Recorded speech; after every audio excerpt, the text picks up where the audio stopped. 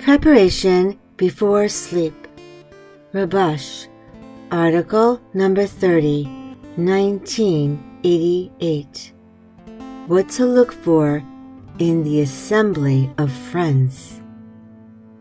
How is it possible to judge another person to the side of merit when his reason shows him his friend's true face, that he hates him? What can he tell the body about that? Why should he submit himself before his friend?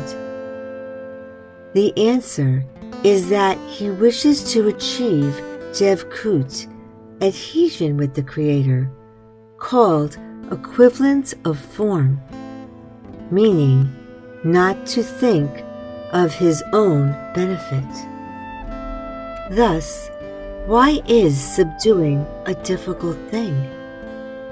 The reason is that he must revoke his own worth, and the whole of the life that he wishes to live will be only with the consideration of his ability to work for others' benefit, beginning with love of others between man and man through the love of the Creator. Hence, here is a place where he can say that anything he does is without any self interest, since by reason, the friends are the ones who should love him.